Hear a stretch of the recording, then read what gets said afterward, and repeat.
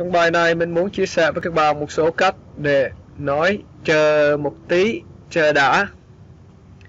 Và sau đây là cái cụm thứ nhất. Could you give me a minute? Could you give me a minute? Bạn có thể uh, cho tôi uh, một phút không? Uh, hang on a second. Chờ chờ một lát. Just a second. Just a second. Just a second. Hold on, hold on, hold on. Khoan đã, khoan đã, từ từ. Hold on. Let me see. À, để tôi coi nào. Let me think. À, để tôi suy nghĩ đã.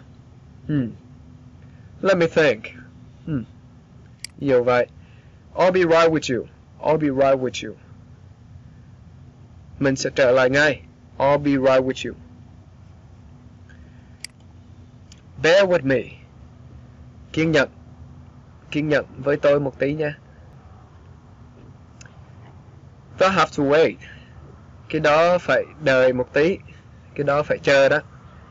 They'll have to wait. Thou. Thou have to wait. Thou have to wait. Thou have to wait. Be patient. Kiên nhẫn một tí. Kiên nhẫn một tí chứ. Be patient. Hold your horses.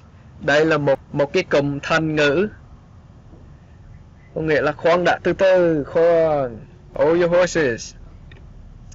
Not so fast. Không nhanh như vậy đâu. Ha, câu này là giỡn đó, đùa đó.